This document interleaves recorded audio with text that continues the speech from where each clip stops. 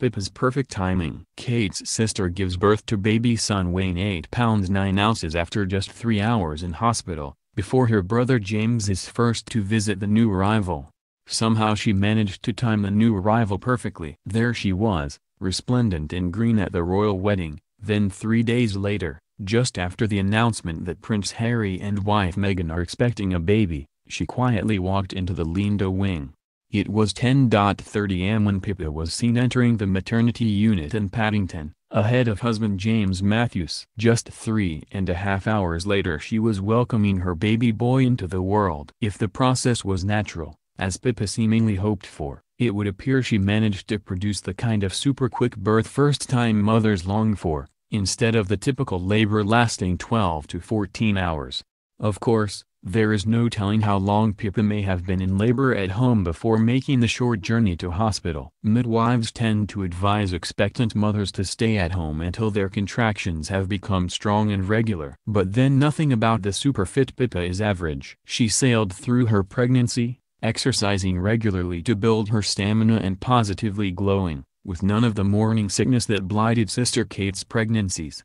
At a bonny 8 pounds 9 ounces, Pippa's son is 3 ounces bigger than his cousin George was in 2013, and the Duchess of Cambridge was at the Lindo wing for approximately 11 hours before he was born.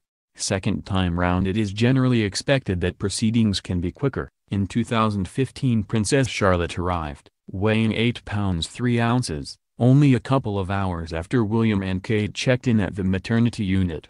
With Prince Louis' birth in April, William and Kate arrived at the Lindo at 8.26 m and he was born at 11.01 m, weighing 8 pounds 7 ounces. The Middleton sisters have both produced babies bigger than the 7 pounds 7 ounces average for a full-term birth. Pippa had a son on Monday at 1.58 p.m only four hours after news of Meghan's pregnancy was made public. Kensington Palace waited 24 hours before making the second baby announcement yesterday afternoon. Weighing 8 pounds 9 ounces, the boy is a cousin to future King Prince George. A spokesman said, Everyone is delighted and mother and baby are doing well. The Duke and Duchess of Cambridge were the first to publicly congratulate Pippa and her husband James Matthews, saying they were both thrilled.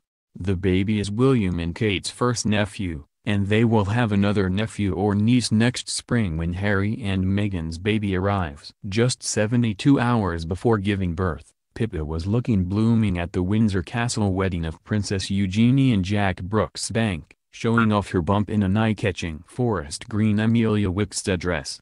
News of the birth was given sarcastic treatment on the BBC. Presenter Simon McCoy struggled to keep a straight face as he read out the breaking news bulletin. The veteran newscaster, who is known for being cynical about royal baby news, hooted with laughter as he tried to make the announcement. Composing himself, he added, Yeah, um, er, so, congratulations from all of us to Pippa and James, on the birth of, a baby. A year ago he announced the due date for William and Kate's third baby by saying, I'm not sure how much news this really is. Pippa, 35, had her baby at the same private maternity unit her sister Kate used for her three children. Wearing a long blue coat, white shoes and sunglasses, Pippa was seen smiling as she entered the 7,500 pounds a night Lindo wing at St. Mary's Hospital in Paddington, West London, on Monday morning.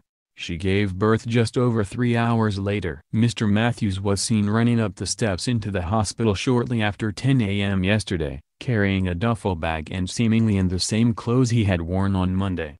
Pippa, who lives with her husband in a pound 17 million mansion in Chelsea following their wedding in May last year, visited the Lindo wing a fortnight ago. The Lindo is known for providing a premium service for its patients. Each is given a private room with their own ensuite bathroom. Gourmet food is available via the Wing's extensive menus, while new parents are offered a wine list to celebrate their arrival. While her sister Kate suffered from severe morning sickness when she was expecting her children, Pippa has boasted of a zen-like pregnancy. She has used meditation to cope with the final few weeks leading up to the birth. Writing in her Waitrose weekend column, she said, as the final month nears and the bump grows prouder each day, movement is certainly getting more awkward. As a result, One of the biggest changes is that my lower body has tightened up. The transformations to my body that are taking place as it prepares for childbirth have meant that the sound sleeps and the baby bubble effect have gone. Reality is finally kicking in. Pippa said she had signed up to a beginner's meditation class, which would involve learning how to meditate twice daily for 20 minutes while chanting a mantra.